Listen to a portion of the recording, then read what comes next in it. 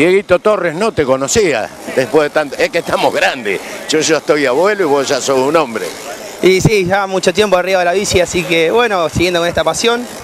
Y hoy viniendo a participar en la, en la Vuelta a Salto, con un equipo de acá de, de Salto, el equipo de Unidad Ciudadana. Eh, y bueno, esperemos ver cómo sale ahora la crono y a la tarde tenemos la etapa hasta Recife. Eh, bárbaro, eh, hay un muy buen nivel de corredores, cantidad y buen nivel en la promo y masteral.